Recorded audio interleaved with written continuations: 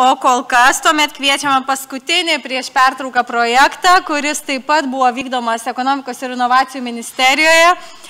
Ir jį gyvendino Eleonora, Marta ir Agne.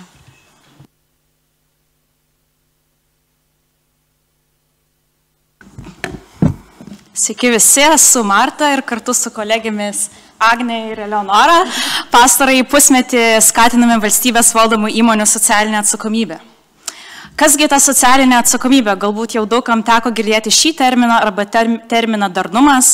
Iš esmės tai yra verslo modelis, kuris atsižvelgia į šiuos tris aspektus. Tai būtent aplinkos e, klėstėjimą, tai pavyzdžiui per tokius a, veiksmus kaip taršos mažinimą, tvarų išteklių naudojimą. Taip pat tai verslo modelis, kuris atsižvelgia visuomenės poreikius, pavyzdžiui, per darbuotojų sveikatos ir žmogaus teisų užtikrinimą. Ir galiausiai tai yra ekonominė plėtra užtikrinantis verslas. Tai toksai, kuris vykdo, atsiprašau, atsakingą veiklą rinkoje ir užtikrina skaidrumą. Tai paprastai labai kalbant, tai socialinė atsakomybė yra apie tai, ne tik apie tai, ką verslas daro, bet ir apie tai, kaip jis savo rezultatų siekia. Ir pasaulinės tendencijos rodo, kad toks verslo modelis plinta. Ir iš tikrųjų įmonių socialinė atsakomybė yra ir prioritetas mūsų vyriausybėje, ji yra minima vyriausybės programoje. Ir būtent ypatingas dėmesys yra suteikiamas valstybės valdomų įmonių socialiniai atsakomybei ir gražos visuomeniai didinimui. Taigi todėl susikoncentravome būtent į valstybės valdomas įmonės savo projekto metu Jos turi tikrai didžiulę reikšmę Lietuvai. Nežinau, ar žinote, bet beveik 3 procentai visų užimtųjų dirba būtent valstybės valdomose įmonėse. Šiuo metu yra 51 įmonė, nors yra numatytai palaipsniui šį skaičių mažinti. Ir tai yra įvairiausiose sektoriuose veikiančios įmonės, kurios turi nuo 7 iki 10 tūkstančių darbuotojų. Ir jos yra tarsi jungtis tarp viešojo ir privataus sektoriaus. Dėl visų šitų priežasčių valstybės valdomos įmonės turi galimybę skleisti gerasias praktikas ir taip tampant būtent darnumo ar socialinės atsakomybės lyderėmis ir netgi tampant pavyzdžių privačiam verslui. Taigi iš darnumo apibrėžimo e, gan akivaizdu, kad tokio verslo modelio plėtra yra naudinga tiek valstybei ir tiek visuomeniai. Tačiau moksliniai tyrimai rodo, kad taip pat ir įmonėms yra didžiulė nauda. Tai neminint visų mokslinių šaltinių ir visų naudų, išskirčiau galbūt viršutinės tris, tai tokias kaip sumažėjusius kaštus ir riziką, galimybė per skaidrumą ir bendradarbiavimas užsitikrinti gerą reputaciją ir sumažinti korupcijos atvejus. Betgi nepaisant visų šitų teikiamų privalumų valstybei, visuomeniai, taip pat ir pačioms įmonėms, situacija su šių principų taikymu mūsų šalyje vis dar prasta. Tai valdymo koordinavimo centras, kuris yra vyriausybės įsteigtas analitinis centras, kuris stebi ir skatina gerasias e, valdysenos praktikas valstybės valdomose įmonėse, jisai kūruoja kasmet pasirodantį gerojo valdymo indeksą. Ir būtent e, be kitų valdysenos kriterijų paskutiniai turimi indekso duomenys parodo situaciją su darnumu.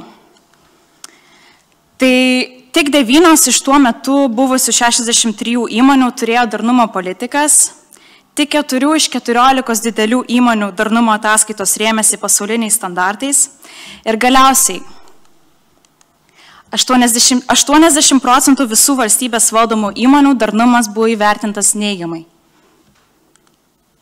Todėl ir programa, pro, formulavome problemą, projekto problematiką šitaip. Nors įmonių socialinė atsakomybė yra vyriausybės prioritetas, valstybės valdomų įmonių darnumo potencialas vis dar neišnaudotas. Taip, ir čia ateina mūsų sprendimas. Įgalinti ir paskatinti valstybės valdomas įmonės integruoti socialinės atsakomybės principus į savo veiklas. Ir kaip mes prie to sprendimo ėjome. Mūsų projektas turėjo penkis pagrindinius etapus.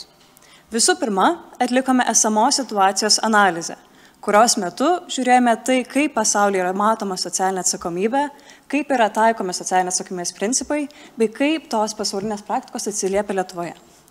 Tuomet, atlikdamas užsienio gerųjų praktikų analizę, sėmėmės įkvėpimo iš specifinių pavyzdžių šiaurės šalyse, kurios yra laikomos geraisiais pavyzdžiais socialinės atsakomybės rytyje. Tuomet, siekdamos gyti dar detalesnį paveikslą, kaip veikia Lietuvos valstybės valdomos įmonės ir kaip ypač veikia jų socialinė atsakomybė, atlikome tyrimą ir interviu ciklą. Tai buvo pirmas tokio pabudžio tyrimas Lietuvoje, kuris žiūrėjo būtent į valstybės valdomų įmonių socialinę atsakomybę. Tyrimo metu atlikome interviu su 19 valstybės valdomų įmonių. Visą tyrimą galite rasti kur Lietuvai puslapyje, bet svarbiausia dalykai yra tai, kad tyrimo metu siekiama suprasti valstybės valdomų įmonių žinias, motivaciją ir sėkmę dėgiant socialinę atsakomybę bei e, klausimų jų pačių pasiūlymų, kas jų manimų geriausiai veiktų. Svarbiausia tyrimo dalis buvo kliūtis. Tyrimas siekia suprasti, su kokiais iššūkiais susiduria valstybės valdomos įmonės ir kaip mes tos iššūkius galėtume spręsti. Pagrindiniai iššūkiai, kuriuos mums pažymėjo įmonės, buvo nevisapusiškas socialinės atsakomybės suvokimas, nepakankami ištekliai ir žinios, Tai, kad kiti prioritetai užima svarbesnę vietą. Įmonės taip pat pažymėjo aiškaus lūkesčio trūkumą iš savininkų institucijų bei pabrėžė gerųjų pavyzdžių stoką. Visi šia, visos šios iššūkiai ir problemos a, informavo tolimesnius mūsų projekto žingsnius. Trečiasis mūsų projekto žingsnis buvo valstybės valdomų įmonių konsultacijos būtent kaip reikia dėkti socialinės atsakomybės principus. Atlikome konsultacijų ciklą su dviejomis valstybės valdomomis įmonėmis - Turto banku ir Litexpo. Šios įmonės buvo pasirinktos, nes interviu metu pabrėžė būtent ekspertinių žinių trūkumą kaip vieną iš pagrindinių kliučių dėgiant socialinės atsakomybės principus, bei parodė itin didelį entuzijazmą ir norą tobulėti šioje srityje. Konsultacijų ciklo metu daliname savo veiklas į dvi kryptis. Labiau į mokymų dalį ir į asistavimo procese. Mokymų dalyje teikiame įmonėms žinias apie socialinės atsakomybės principus, apie socialinės atsakomybės standartus, bei dalinamės geraisiais taikymo pavyzdžiais. Asistavimo procese metu kai įmonės pradėjo, jau norėjo vykdyti veiklas, padėjome joms su veiklų peržiūra, su komandos subūrimu, poveikios ryčių išsigrinimu, kad žinotų, kur geriau investuoti laiką. Konsultacijų ciklo metu įmonės aktyviai pradėjo vykdyti socialinės atsakomybės veiklas. Matėme jau pradėtus daryti ir kuriamus sukurtus veiklų planus, Įmonės pradėjo dėliotis socialinės atsakomybės politikas bei aiškius metodus, kaip galėtų vertinti pažangą, taip užtikrant ilgalaikį testinumą socialinės atsakomybės veiklų.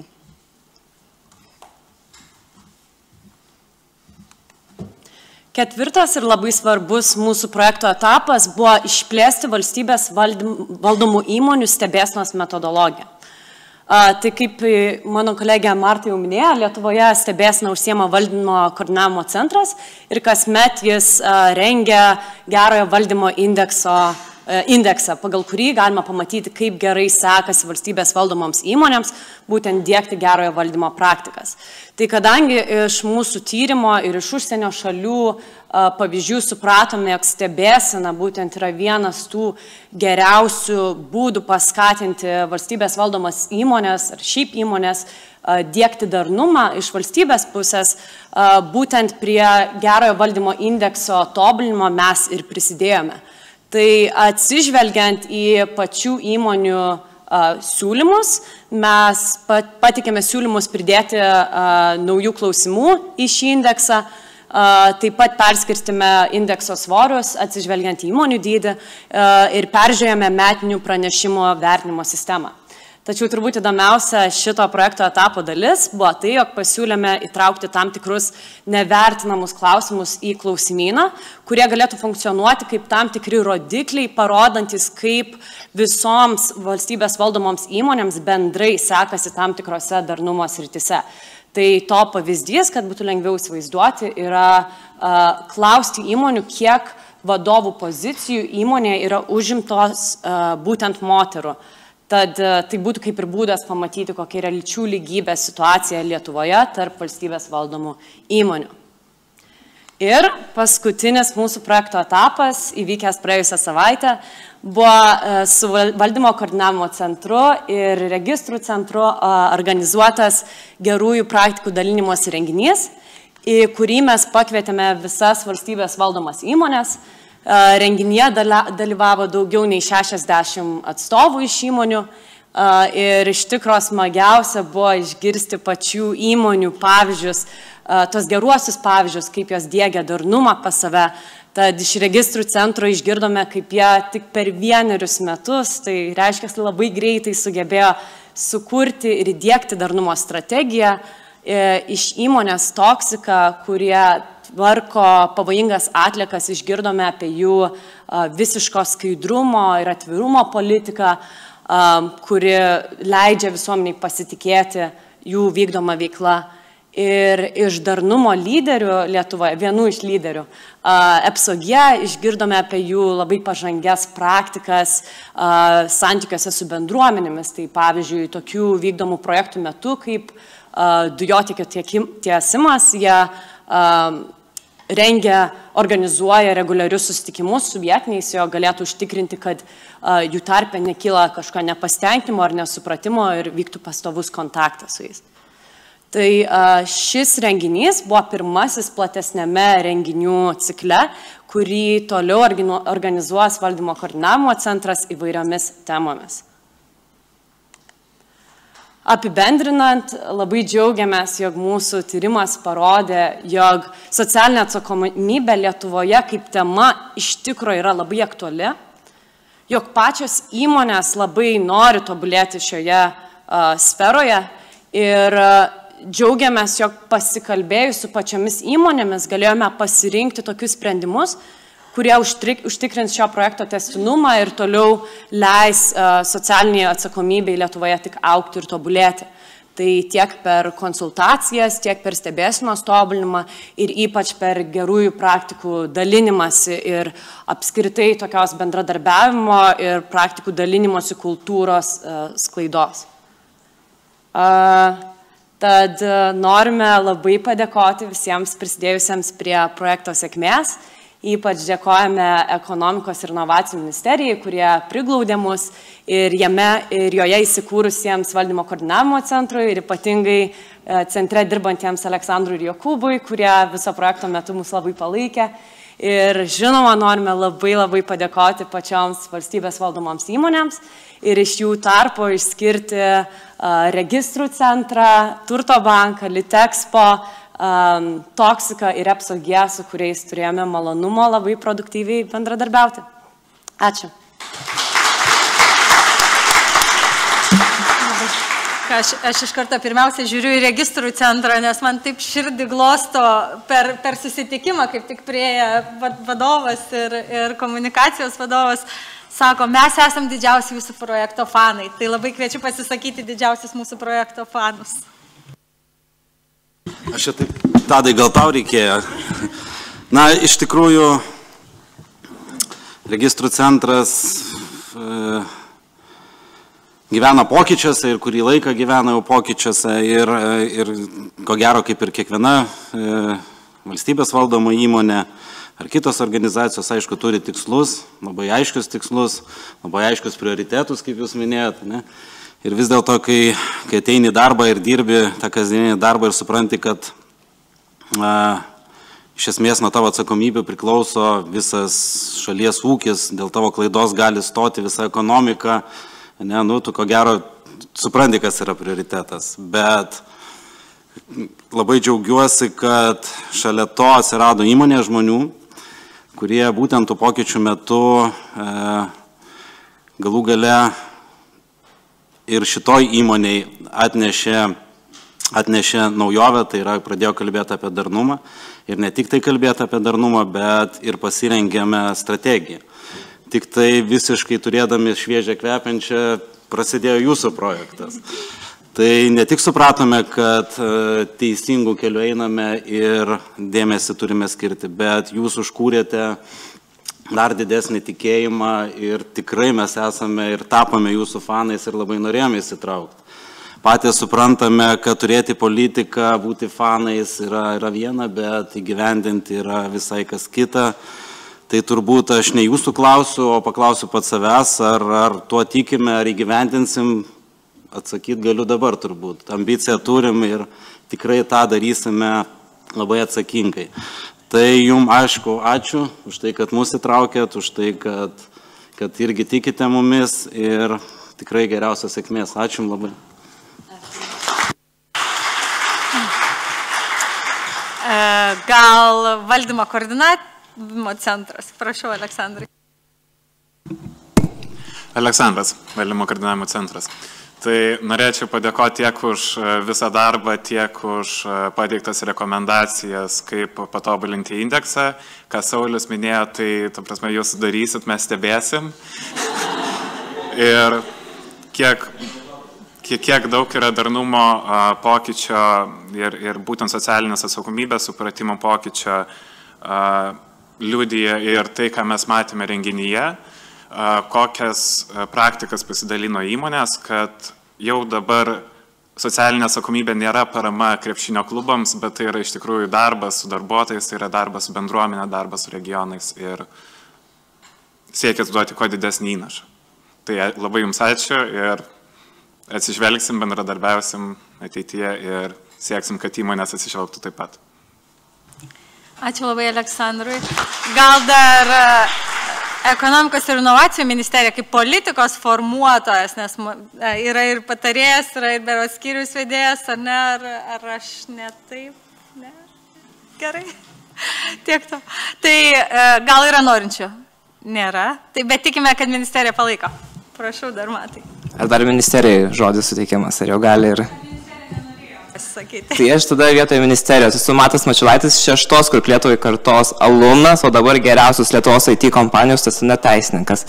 Labai džiaugiuosi čia būdamas ir matydamas, kaip tendencingai metai iš metų tokie grandai kaip EBPO, o tuomet ir kur Lietuvai padeda valstybiniam įmonėm siekti vis geresnių rezultatų, skaidrėti ir tapti vis labiau efektyviams. Tai tikrai šoka mano širdis jūsų klausydama. O to pačiu ir klausimą turiu. Aš taip pat tyriau valstybinės įmonės ir tokį norėjau paneigti arba patvirtinti tokią situaciją, kad ar tiesa, kad valstybinės įmonės, kurios bendradarbiauja efektyviai su Nasdaq'u, tai reiškia, kad jų vertybiniai popieriai yra listinguojami ir jos privalo laikytis tam tikrų standartų iškeltų būtent Nasdaq'o, ir pagal darnumo, kaip ir mano atveju, pagal efektyvumo rodiklius šiuo metu yra priekė, lyginant su kitomis didžiosiomis valstybinėmis įmonėmis.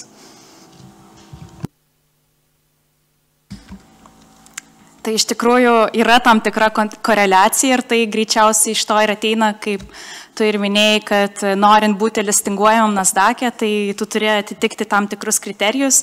Ir vienas iš tų kriterijų yra būtent darnumo ir socialinės atsakomybės principai. Tai iš tikrųjų, kai to yra reikalaujame, tai žinoma, tai labai skatina įmonės tą daryti.